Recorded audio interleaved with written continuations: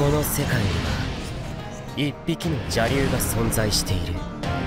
その竜の名はダガンゾート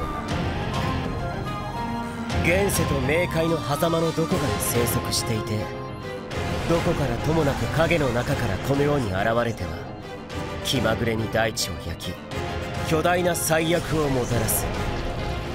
数百もの命を屍に変えてもそれらの魂だけを食らいながらずっと生きながらえていると伝えられている。しかし我々は決して邪竜の行方を知ることはできない。俺の名はヒーロー。職業はさすらいの剣士。10年前俺の両親はダガンゾートによって命を奪われた。以来ダガンゾートを倒すためだけに。俺はずっと剣の修行に打ち込んできた。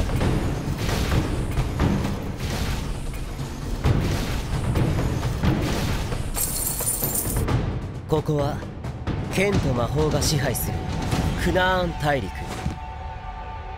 聖アモリア王国イシルフェン王国バンロディス王国の強力な三国が君臨している。三国の力は均衡状態にありいずれか一国で返事が起これば大陸全土に戦火が広がるのは目に見えている。その混乱に乗じて力ある者はあらゆる手を講じて欲望の赴くままに欲しいものを手中に収め力のない姿勢の人々はただ怯えて暮らしていくしかなかった。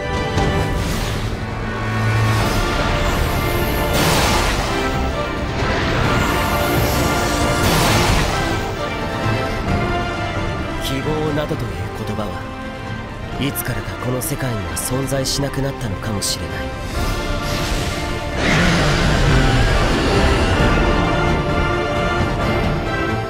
だがどんなにこの世が荒廃しようが俺は構わない。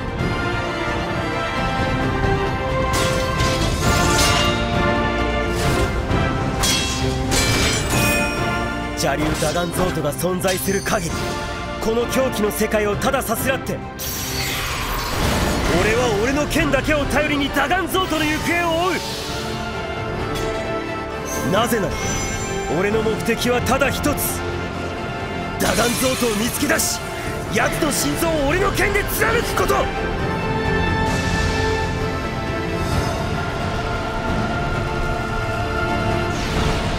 新番組「聖戦ケルベロス龍谷のファタリテ」うなれ俺の剣。